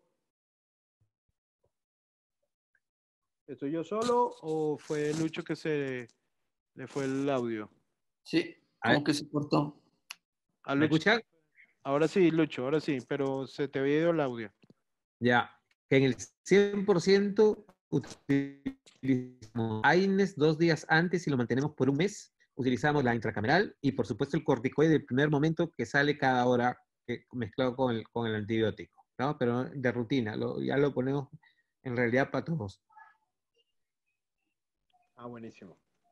Este, Ya, estamos. ¿Alguna pregunta más? Yo, yo, yo, a ver, quisiera saber su protocolo de cada uno cuando rompen cápsula y no, se, no, no hay fragmentos en la parte posterior, pero rompen cápsula. ¿Hacen algún cambio? ¿Agregan algo? Vamos ahí por orden de edad. A ver, Gerardo. Yo no rompo nunca cápsula posterior. Pues yo, yo, Sí. yo lo comenté ahora más temprano.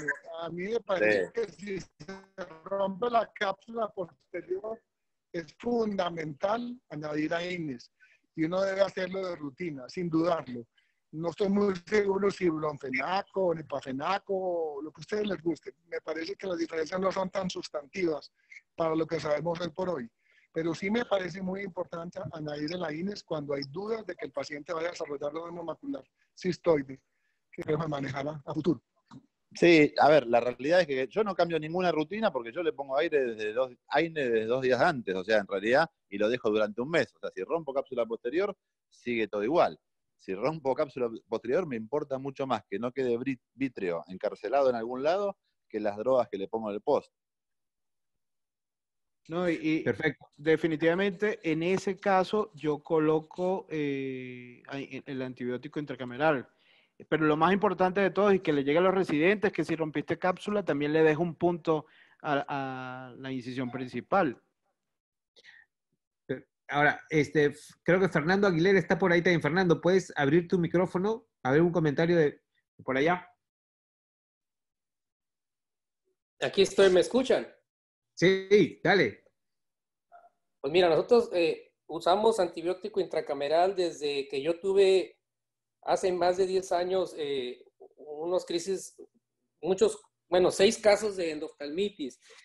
Y después de investigación y todo, junto con SCAF, eh, tenemos más de 42 mil casos con eh, moxifloxacina intracameral sin dilución di- directo del gotero, sin endoftalmitis, ¿verdad?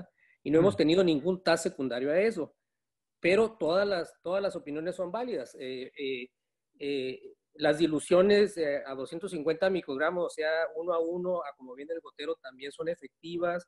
Eh, las últimas publicaciones son eh, diluirlo a 1 a 5 para que quede a 100 microgramos y con eso intercambiar todo el acoso, no nomás inyectar una décima. Pero yo mm, puse en el chat ahí hace dos años en ASCARS, hubo una presentación de la Universidad de Kentucky donde ponen la moxifloxacina en los labios de la herida, en el estroma, y demostraron que dura entre 48 y 72 horas con la concentración mínima inhibitoria. Entonces, no solamente es ponerlo en cámara anterior, sino infiltrarlo como lo hacemos la mayoría. Entonces, aunque haya un recambio de acoso en unas dos horas, dependiendo de la cantidad de acoso que tenga la cámara anterior del paciente, el tenerlo, el infiltrarlo en el estroma, en los labios de la herida o de la paracentesis, al parecer mantiene una concentración mínima inhibitoria de 48 a 72 horas. Entonces yo, yo sí lo pongo así. Perf- Perfecto. Miren, hay otra pregunta por ahí. Dicen, ruptura de cápsula, ¿no habría riesgo mayor de toxicidad? Bueno, lo que se habló la correlación a la toxicidad fue por el uso de vancomicina, ¿sí? Y eso se relacionó un poco con toxicidad retiniana de vancomicina intracameral. Vamos, eh, no, te- no tengo entendido si con Moxi o cefuroxima pasó lo mismo. Si alguien más, por favor, alguna, un comentario.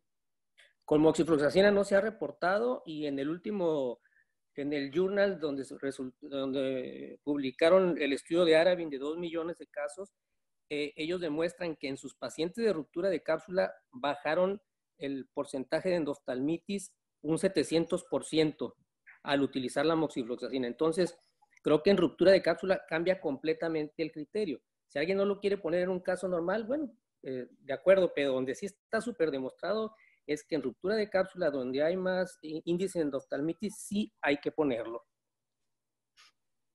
Perfecto, perfecto.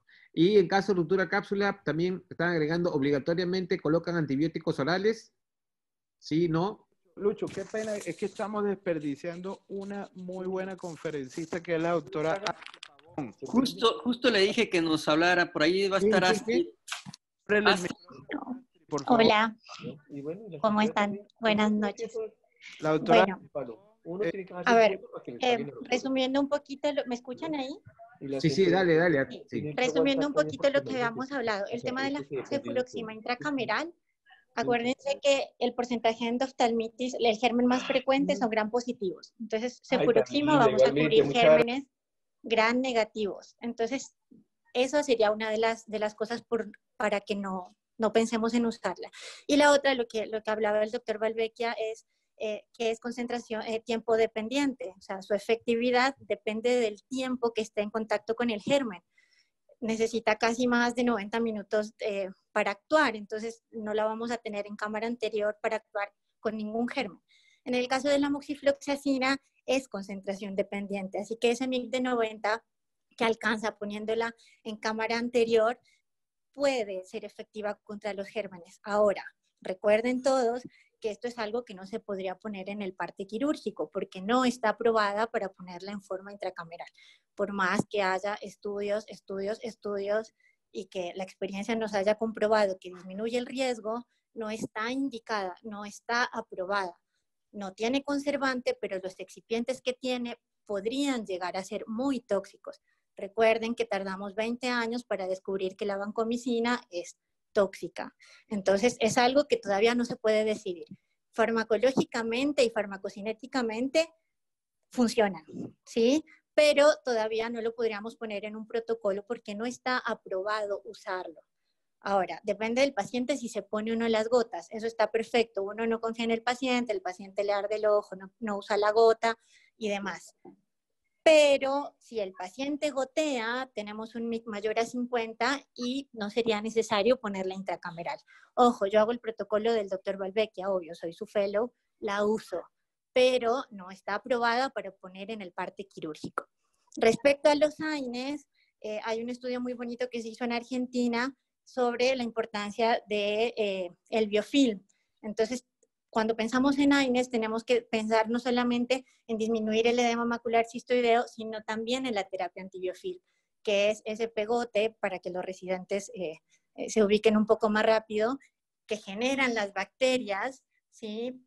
Estos, estos polis, eh, polisacáridos se deshacen con los AINES y el antibiótico puede penetrar mucho mejor, tiene mejor actividad y disminuye las unidades formadoras de colonias, entonces disminuye el riesgo de infección.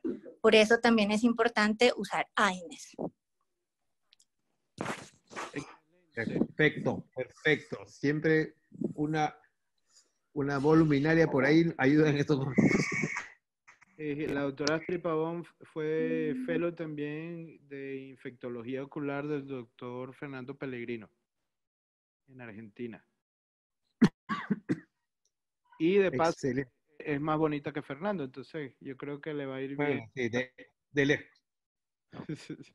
Mira, eh, Lucho, eh, yo traje esto de All You Need Is Chop. Yo no sé si el, si el audio se va a escuchar, pero ya casi como para dar más o menos un... Dale, dale, para terminarlo, que termina con el video. Escuchen a ver si se, si se llega a escuchar la música, pero les traigo como un popurrí de técnicas de chop diferentes o no tan convencionales que hacen algunos amigos de Latinoamérica. Vamos a ver. Ahí se escucha la música. ¿O no? Ponle volumen.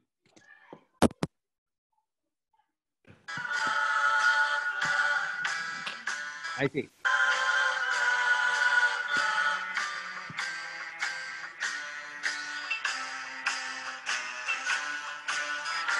Entonces, como yo les había compartido al inicio, 80% creación de fragmentos, eso tiene que mantenerse en su cabeza. Tener vacíos fijos y altos a la hora de hacer chop, tener una catarata firme y tranquilo. La mano del, del faco tiene que estar siempre pasiva. La mano activa es la mano izquierda. Empalar y hacer movimientos de la mano izquierda que no vayan a tocar la punta del faco, sino que vayan paralelos a la punta para que no, pierde- pierdan la sujeción. Entonces, como yo les he enseñado a mis fellows y a los residentes las técnicas de chop, por eso les traigo ahora esta técnica que es maní chop.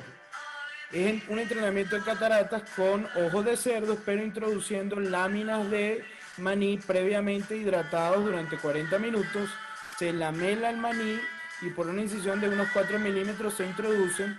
Y lo que yo llevo a los residentes de Felos, que está la doctora Alba y Olga Cudelo, que ya son ex Felos de hace dos años, es hacer chop, chop, chop, chop, chop y crear la mayor cantidad de fragmentos que pueda, porque después la facomulsificación en un ojo real va a ser mucho más sencillo.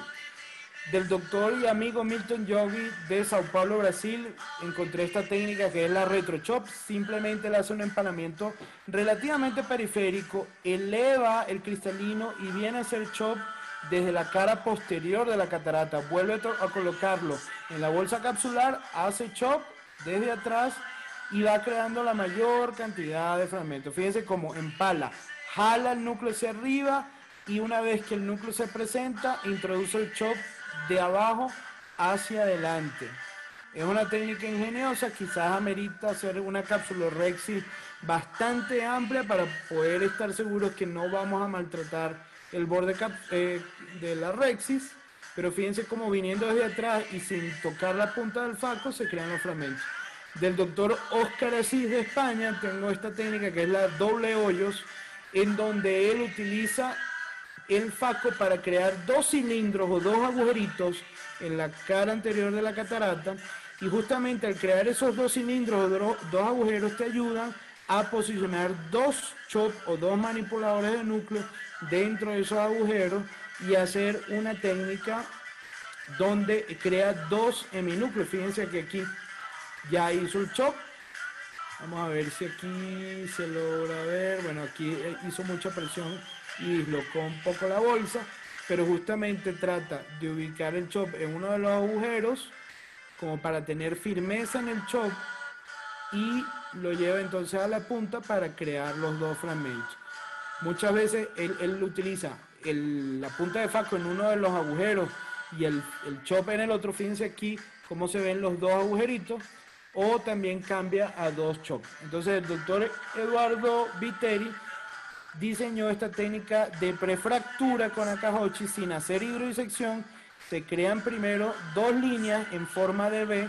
Fíjense que estamos con el prefracturador Karate híbrido y la Universal, el Universal 2. Estas son cataratas blandas, intermedias y ya la dura, la, de su derecha. Pero entonces se crean dos surcos para hacer una V, que es la V de Viteri, la V pre-chop. Ofrecen el faco a este pie o a este pedazo de pizza y justamente ustedes van a facomulsificar el centro del cristalino desde el inicio. Luego quedan dos heminúcleos que, van a, que son de corteza periférica suave que van a venir por la misma fuerza hídrica y de vacío a la punta de faco sin tener un segundo instrumento en el ojo. En este caso, en la última sí tenía el chop porque como era muy dura quería seguir chopeando. Luego está nuestro gran amigo Luis Scaff, la Ultra Star y la Ultra Quick. Este es el chopper de Scaff, crea varias líneas como que si fuese un asterisco, como utilizando un Divide Conquer, diríamos, utilizando los movimientos de Divide Conquer, se crean esas líneas, se coloca viscoelástico dispersivo y después con el prefracturador universal de Akahochi se entra en, en estas líneas que creaste para ir fragmentando y creando pedacitos tan pequeños como los que vemos ahí. Luego simplemente ofrecemos la punta del faco a este vértice de cada fragmento, le lleva a la zona de actividad y fíjense sin tener la necesidad de tener un segundo instrumento cómo vienen los y la cápsula mantiene su lugar. Técnica ultra o ultra estar haciendo como una estrella técnica que simplemente empalas el ultra chopper y con un chop en la periferia entonces vas a hacer eh, como que si fuese un quick chop horizontal.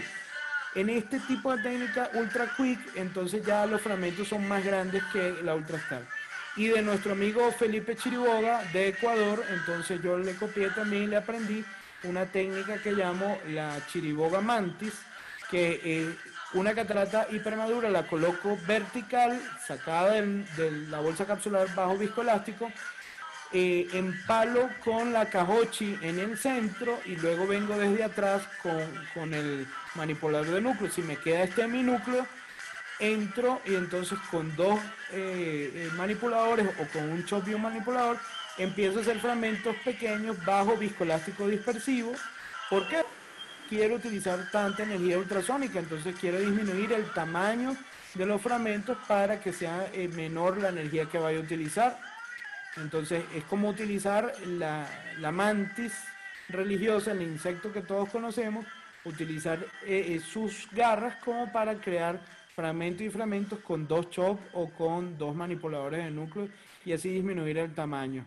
Fíjate que ya, ya hicimos fragmentos pequeñitos y entonces miren cómo rápidamente van todos los fragmentos a la punta. Bueno, entonces este era el video, Lucho, que quería compartirles para el final. Espero que les haya gustado. No sé si tiene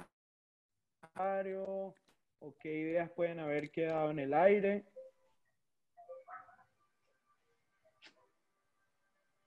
Yo creo que, a ver, espérense.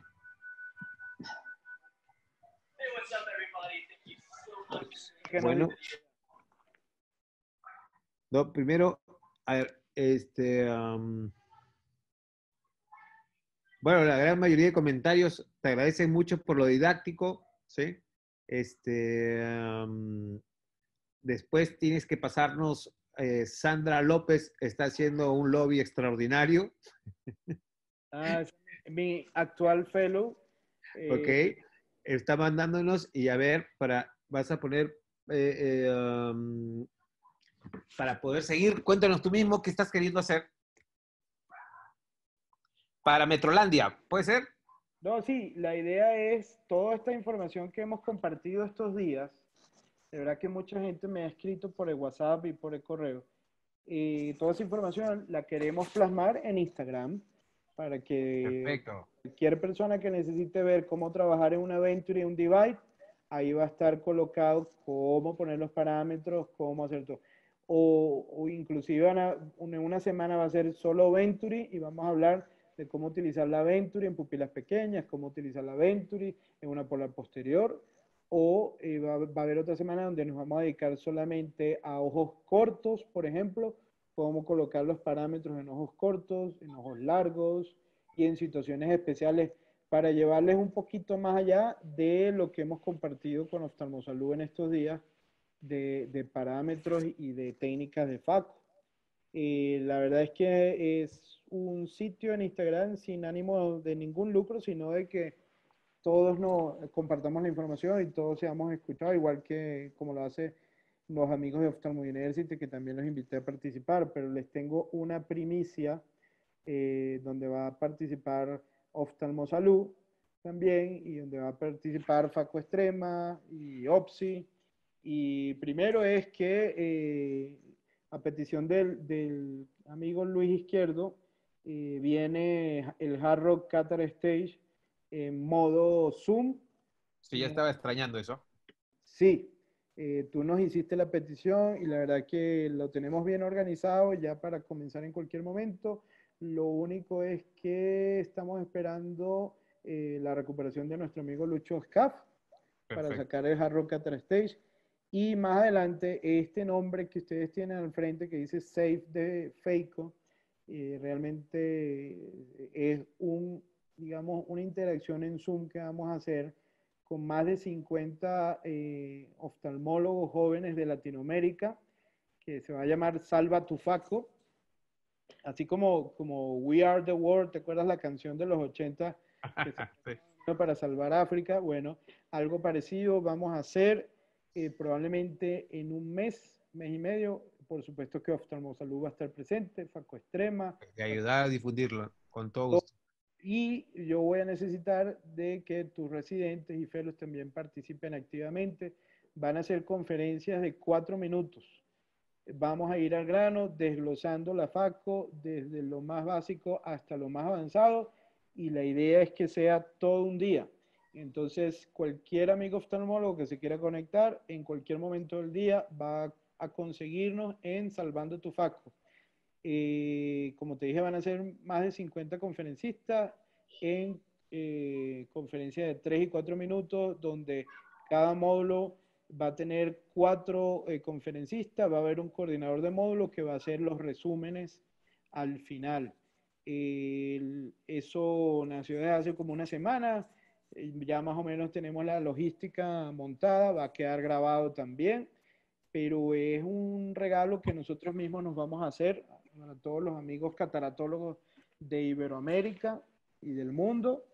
Y yo quiero darle bastante chance a todos esos oftalmólogos jóvenes que ya vienen superándonos, Lucho. A veces uno, uno no lo ve, pero todos estos oftalmólogos que estamos formando en poquito tiempo y tienen una destreza admirable en cirugía y un conocimiento que eh, nos nutre también a nosotros los que ya tenemos rato haciendo catarata. Entonces esperen, esto es Safe de Faco o Salven tu Faco, Salva tu Faco, que eh, lo vamos a hacer probablemente como en un mes, mes y medio, en nombre de Dios y, y con la ayuda de todos ustedes. Gracias. Bueno, entonces abrimos los micrófonos ahora y gran Muchas gracias, excelente Muchas gracias. Muchas gracias, Jorge. Realmente tu dedicación, gracias, tiempo, excelente. Gracias, Luchito. Gracias, doctor Jaramillo. Excelente, excelente. muchas gracias. excelente, Jorge. Gracias. Nos vemos mañana. Gracias, este, ya el horario los, han pasado y los profesores solamente va a haber dos días de cambio que va a ser a las 4 de la tarde eh, por dos eh, eh, profesores españoles. Estamos, así que nos vemos mañana con todo gusto. Muchas gracias a todos y todos por su paciencia. Gracias, gracias amigos. Un abrazo. A ti, gustazo, lo vemos. Gracias, Jorge. Un fuerte abrazo. Un abrazote, cuídate mucho. Gracias.